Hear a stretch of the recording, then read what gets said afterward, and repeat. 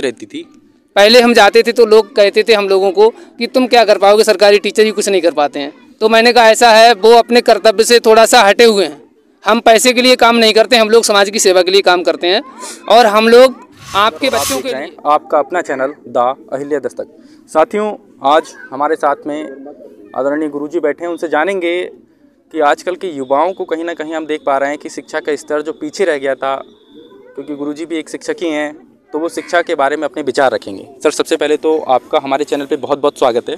बहुत बहुत धन्यवाद आपके लिए। सबसे पहले सर थोड़ा सा अपना परिचय दे दीजिए। जी मैं दिनेश गुर्जर गोशगंज तराई से सरदार गुर्जर विद्या मंदिर उसका प्रबंधक हूँ और लगभग 2007 से मैं उसका संचालन कर रहा हूँ। 2007 से। अच्छा अच्छा अब जो है शिक्षा का स्तर पहले कहीं ना कहीं इन क्षेत्रों में देखा जाता था जो भी तराई का क्षेत्र लगता है कहीं ना कहीं काफ़ी लेवल जो है कम था। तो पहले से लगभग 10 या 20 साल पहले से अब में कितना परिवर्तन हो पाया? क्योंकि पहले शिक्षा का माहौल यहाँ का बहुत ख़राब था। यहाँ पर लोग पढ़ाई के नाते अपने बच्चों से कहते थे कि पढ़ के आप क्या करोगे? अगर आप पढ़ने जाओगे तो हमारे घर का काम ख़राब होगा और आप पढ़ने के बाद कामयाब भी नहीं हो सकते हो। हल्के हल्के हम लोगों ने हाकिम जी भाई साहब हैं और भी लोग हैं। एक गोष्ठी की और हम लोगों ने विचार किया कि हम लोग शिक्षा में अभी जो उन्नत एरिया हैं जो अच्छे क्षेत्र हैं उनसे बहुत पीछे हैं। तो भाई साहब ने सबसे पहले हमें और दो चार लोगों को इकट्ठा किया और कहा कि अपने लोग शिक्षा के माहौल में थोड़ा आगे बढ़िए और समाज के लिए आगे बढ़ाने का काम करेंगे। तो भाई साहब की प्रेरणा से और हम लोगों ने लोगों के बीच में संपर्क किया और बताया कि अगर हम अपने बच्चों को शिक्षित नहीं करेंगे तो हमारे बच्चे भविष्य में कुछ नहीं कर पाएँगे और यहाँ तक ही सीमित रह जाएँगे। तो हम लोगों ने हल्के हल्के लोगों को जागरूक किया, संपर्क किया। संपर्क करने के बाद शिक्षा का महत्व बताया कि शिक्षा के माध्यम से ही व्यक्ति अपने क्षेत्र में, अपने जीवन में हर हर एक ऊंचाई तक पहुँच सकता है, चाहे सर्विस हो, चाहे अच्छा व्यापार हो, चाहे अच्छी कृषि हो। इसके लिए हम शिक्षा के माध्यम से सुधार सकते हैं। तो हम लोगों ने प्राइवेट संस्था की एक नींव डाली और आज उसके माध्यम से हमारे क्षेत्र के बच्चे यहाँ से निकल करके सी एस इंटर कॉलेज है बरेली कॉलेज है बहुत कॉलेजों में जा रहे हैं और कई एक बच्चे आज फौजी बन चुके हैं और तैयारी भी कर रहे हैं अच्छी तरीक़ा से। तो लोग इसका फ़ायदा ले रहे हैं और पहले ये चीज़ हमारे क्षेत्र में नहीं थी जागरूक करने की प्रणाली किस तरह से रहती थी? पहले हम जाते थे तो लोग कहते थे हम लोगों को कि तुम क्या कर पाओगे सरकारी टीचर ही कुछ नहीं कर पाते हैं। तो मैंने कहा ऐसा है वो अपने कर्तव्य से थोड़ा सा हटे हुए हैं।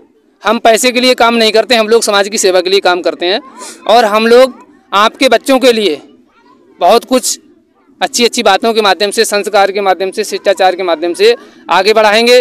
और यही बच्चे आपके जब संस्कारवान होंगे, अच्छे होंगे तो अपने समाज का और अपने क्षेत्र का नाम रोशन करेंगे और भविष्य में इनके लिए कोई ना कोई कामयाबी मिलेगी। तो इस तरह से लोगों के बीच में एक विश्वास बढ़ा और लोग हमसे जुड़े। और जुड़ने के बाद लोग आज बहुत आगे पहुँच रहे हैं और लोग हमारे विद्यालयों की सराहना भी कर रहे हैं। अच्छा जो अभी जो नौजवान बच्चे हैं वो कंपटीशन की तैयारी करते हैं। तो उनके लिए क्या संदेश देना चाहेंगे कि किस तरह से कंपटीशन की तैयारी करें जिससे कि कम से कम समय में सिलेक्शन पा सकें?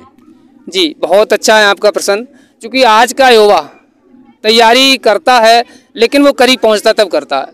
और हमारा मानना है अगर शुरू से ही जब वो विद्यालय में प्रवेश लेता है। उसी समय से अगर अपने लक्ष्य को एक निर्धारित कर ले कि मुझे इस क्षेत्र में जाना है और उसका साथ उसके माँ बाप भी दें। जब तक बच्चे के माँ बाप उसकी आवश्यकताओं की पूर्ति नहीं करते हैं केवल जन्म देने से माँ बाप की केवल कर्तव्य जो होता है पूरा नहीं होता है। कौन सी कक्षा से उसका लक्ष्य निर्धारित रहना चाहिए? बच्चे का लक्ष्य तो मैं तो यही कहूँगा कक्षा आठ पास करे। जब वो नौ में जाए, नौ में चूँकि वो अपना एक साइड का निर्धारण करता है कि मुझे एजी लेना है या मुझे आर्ट लेनी है या साइंस लेनी है, अगर उसके लिए एक इंजीनियर बनना है तो अपना उसी तरीक़ा से साइड का चयन करता है।